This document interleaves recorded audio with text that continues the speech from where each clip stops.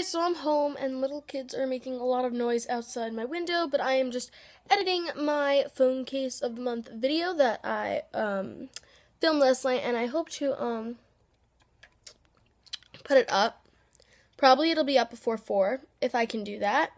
And again, I'm just wearing my bow and my stockings are actually above me. Classic Jew. And I printed the Jingle Ball tickets. Mm. Drinking from my thing, which you'll already know about probably. And yeah, and I'm really excited for Jingle Ball. I'm I'm honestly so excited. I'm not sure exactly what I wanted to wear. I did want to do a get ready with me, but I I don't think I'm really gonna put any more makeup on that I already have. Maybe I'll just put some eyeliner on. Ooh. Oh. Oh, so sass. Audrey needs to get her eyebrows done. Where did my lighting go? Alright, so we'll talk later, probably on the way to the concert or a little before, and maybe you'll help me pack. Bye! And less than 20 minutes later, it's almost finished uploading. I mean, of course, we have to wait for it to process, which is literally the most annoying thing in the world, and I hate it so much, and I don't understand why things need to process for so freaking long. But you know what? It's okay. It's part of the YouTuber life, and we're just gonna deal with it. I don't know if anyone ever reads these, but I always make one. Ooh, started processing.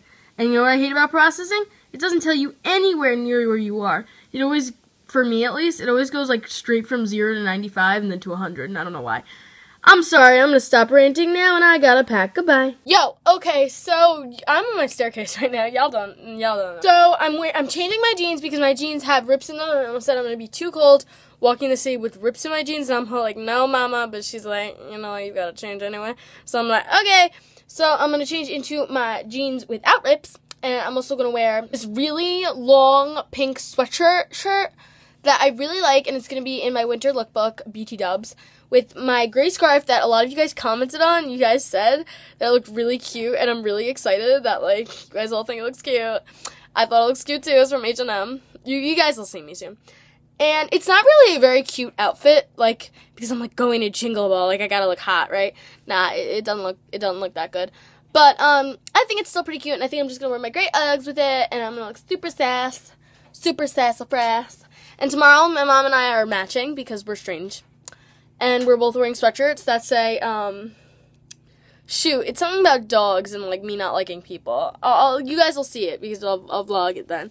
So, um, yeah. So, yeah. I'm just listening to Shane's podcast, Shane Dawson. It's called Shane and Friends Podcast. It's his new one with Mamrie Hart and co-host Jessa Buttafuoco blah, blah, blah. And I'm very excited because I'm not even midway through and I'm 15 minutes in and I love listening to his podcast. It's the greatest. You guys should really check it out. Bye. Uh. Mama, where we going? Jingle Ball 2014. I gotta go. Woo-hoo. New York City. See, this is still Macy's. Look at those windows. This is the view from the room. Mm.